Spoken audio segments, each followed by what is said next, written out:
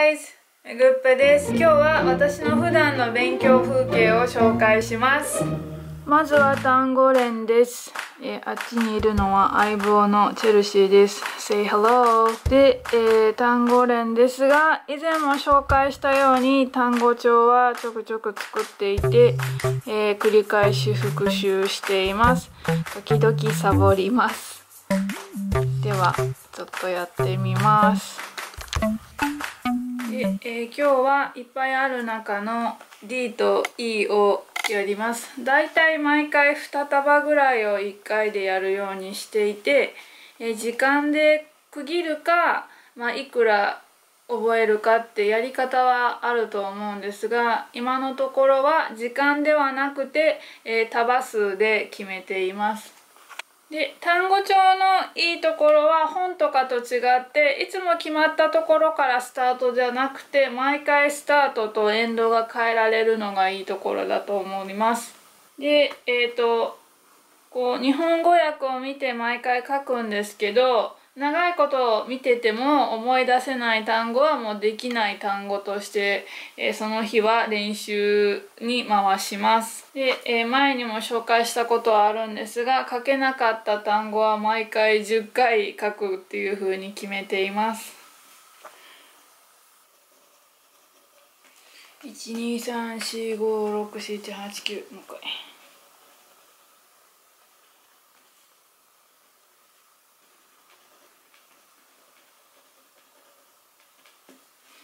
はい、えー、一つ目終わりました。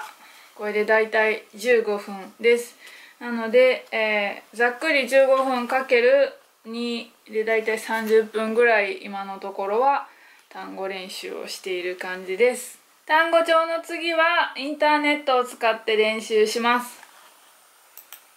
えー毎度2つやるんですが1つ目は何度か紹介しているウェブリオの語彙力診断テストこれをやります。で、えー私は特に会員登録はしていないので会員登録せずに診断をするんですがこの中で、え TOEIC テストにおける総合的な語彙力を測定するっていうのがあるんですがいつもこれをやっています。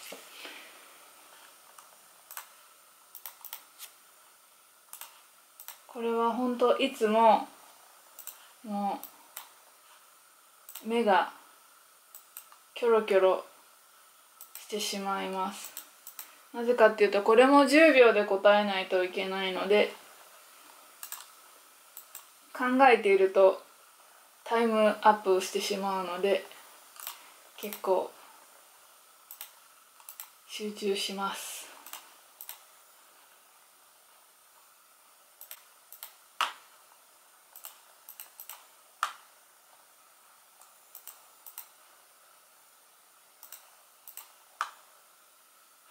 はい、えーと、最初は推定カバー率100%、ランク S プラスで、 TOEIC テスト推定スコア990点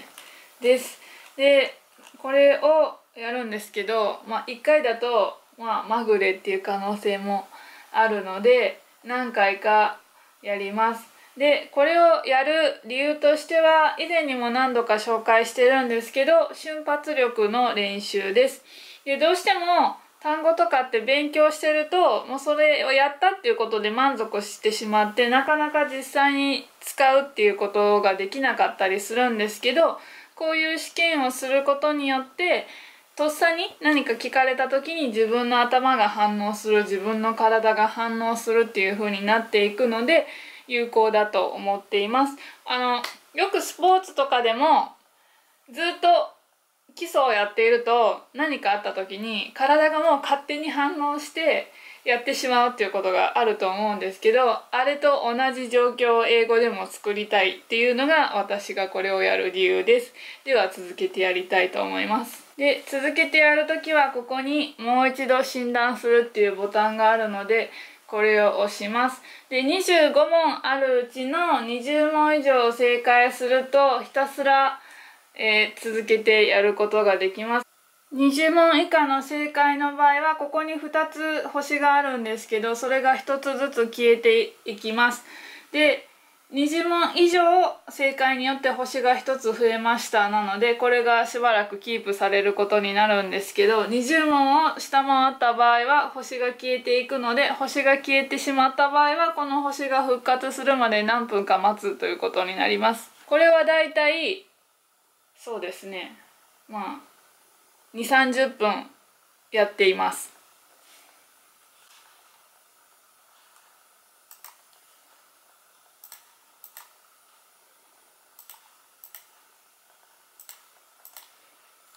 で普段使ってて十分できるつもりでいてもとっさに聞かれると忘れてたりとかするので意外と役に立っています。あとは日本語でそういう役なのねっていうやつもあったりします。で学校で習ってる時ってこう一つの意味しか聞いてなかったけど実際はもっといろんな意味があってそういうのも聞かれたりするので知らなかったっていうのも結構ありました。で、えー、時々こういう風にポイントが下がるんですけどそういう時に新しい単語とか今まで聞いたことがない単語で間違った単語だったりするとさっきの手書きの単語帳にまた継ぎ足して次にやる時にそこから復習したりとかもしています。バキューム真空どうしてもバキュームとか掃除機って思ってたりするんですけどバキュームは真空っていう意味があるんですよ。そうですね。という感じでこれをしばらく続けます。で終わる時はなるべく満点で終わりたいので終わろうと思ってて 満点じゃない時は何回かしつこくやったりします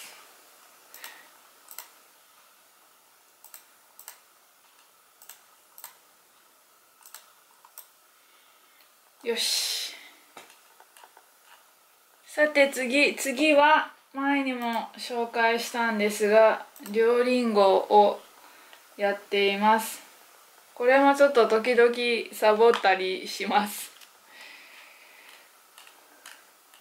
で、えー、デュオリンゴのいいところは自分で打ち込んだり読んだり読んだのを聞いたりもできるしあとは聞き取りをしたりとか英語を勉強するのに必要な練習が全部できるようになっています。で現在私は英語学習レベル55%です、えー、半分ぐらいしか進んでません。で結構これが長くてですね大体一つのレベルを終了するのにどれぐらいかな？多分 XP ってポイントだと思うんですけど2000ぐらいやらなきゃいけないのかな？1500とかまあぐらいだから2000だと思うんですけどこれが結構多くてで1回の問題っていうかその1回やるのにだいたい10ポイントなんですよ。なので1日に10個問題をえー、10個ってその1問とかじゃなくて何問かセットになってるやつを頑張って10個したとしても100ポイント分ぐらいにしかならないのでこれを結構エンドレスにやるっていう感じです。まあそれぐらいやらないと身にはつかないよっていうことだと思うんですけど結構それが長いです。はい。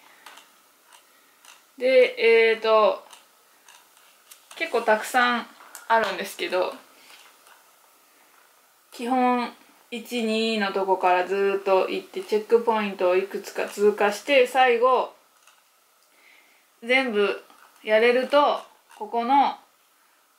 先生がいるんですけどこの先生のトロフィーとかもらえたりします。はい。私も何度かもらったんですけどずっとやってると時々ちょっと飽きたってなるのでたまに間を空けることがあります。で、えー、やってないとお忘れなくっていうメールが来るのでこれがまたちょっとプレッシャーだったりします。ではやります。でそれぞれいろんなタイトルがついていて。I kick the door.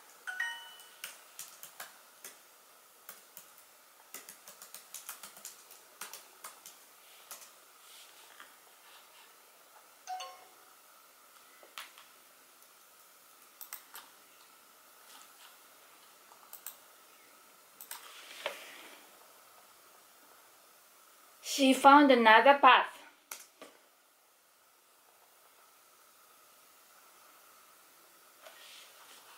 とっさに役を考えたりとかしなきゃいけないので結構頭を使ってると思います。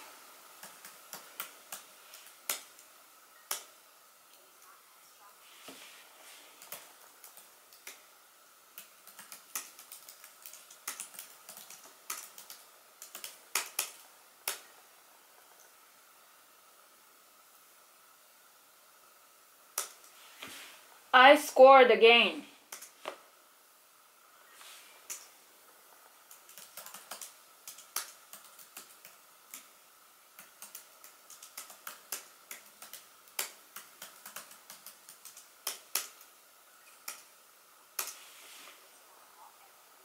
He goes for a walk every morning.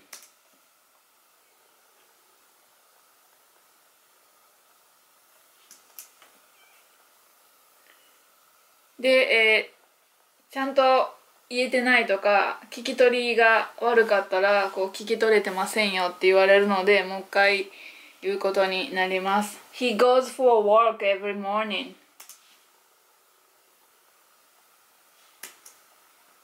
Oops.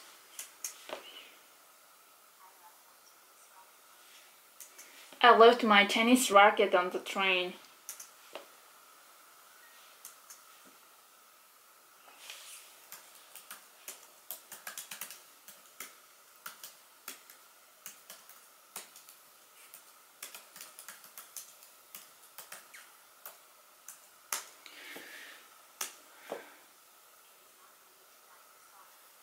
It is not for, it is not normal to die for soccer. It is not normal to die for soccer.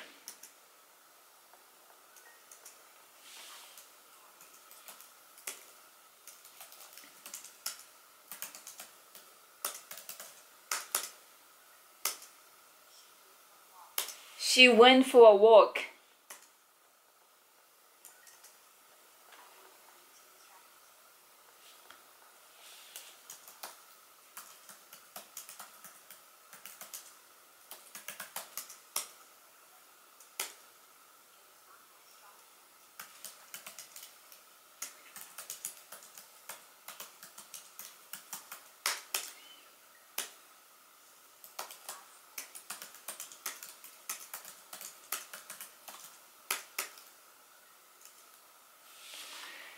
え、っと。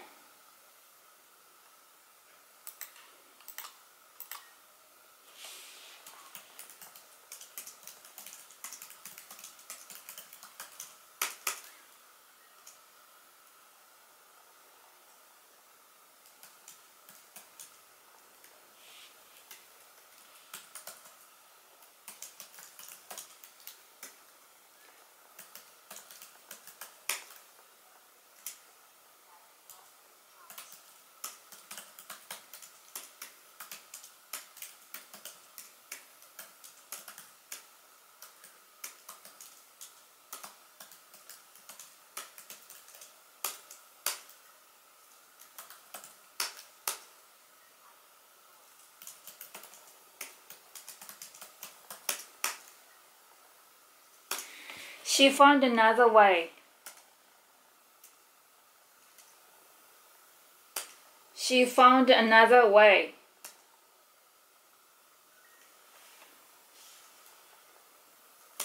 We agree on this point.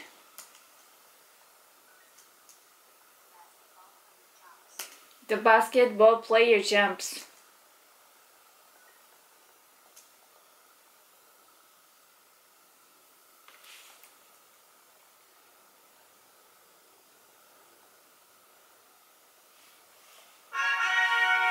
とまあこんな感じでスポーツを強化しましたとか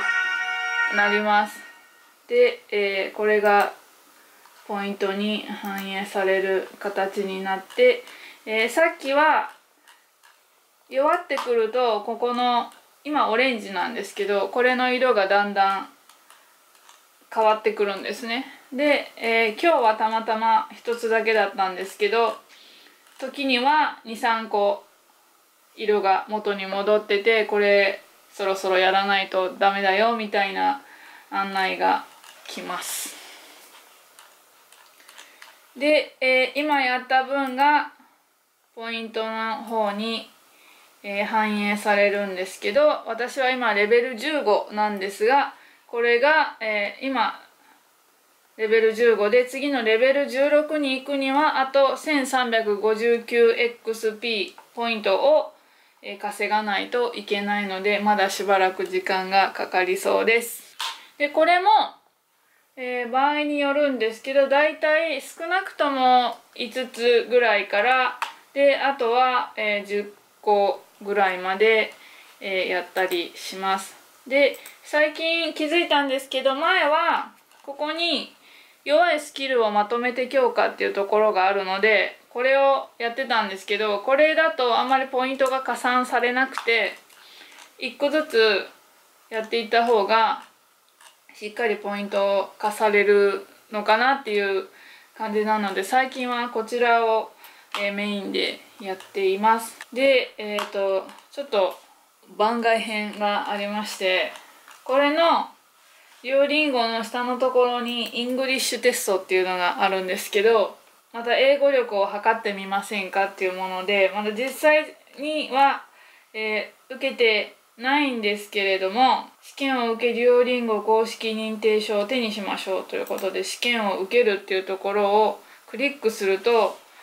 49ドル USD ということなのでまあ無料ではなくて有料の試験なんですけどこれをまあ実際に受験するのと練習テストを試すっていうのが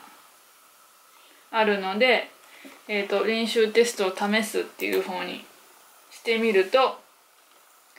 練習問題が受けられるんですけどこれが思ってたよりも複雑というか今まで受けてきた TOEIC とかそういうのとかはちょっと種類が違う感じの試験で内容が今の聞き取りと語彙問題で英語で存在する単語を選びましょうっていうものと長文問題なんですけどこれが結構難しいです。こう、まあ、時間制限があるのももちろんなんですけど穴あき問題でそこに入る単語を自分で選べっていう問題なんですけど長さはその文章によって全然違って難易度も違うのでたまにむちゃむちゃ難しいのがあったりして全然こう頭がついていかないっていう時があります。